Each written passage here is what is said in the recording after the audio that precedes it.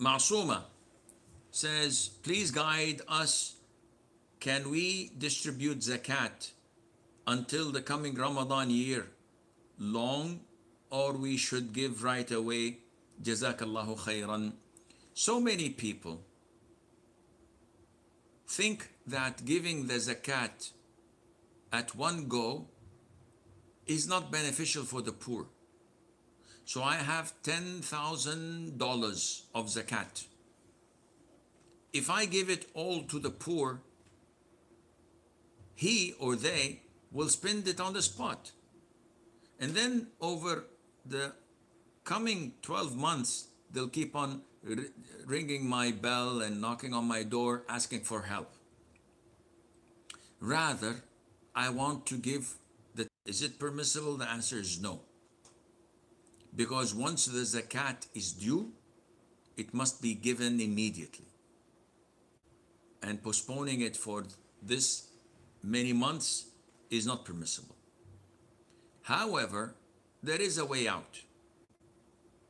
So my zakat is due today. I take the 10,000 and I distribute it to the poor.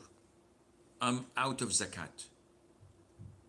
Then I say to myself, this is another 10,000 of next year's zakat, which is due 12 months from today.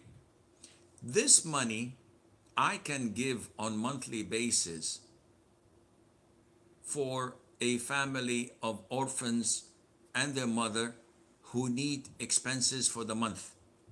So every month I give them $800. The following month, $800. And it's from zakat. When next year's zakat is due, I calculate my wealth.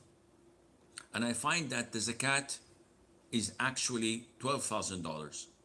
So I'm $2,000 short. I take 2000 and give it to the poor immediately. Or I may find that my wealth has decreased and I, my zakat is $9,000. So Alhamdulillah, I already paid 9,000 and a $1,000 is extra charity and not zakat.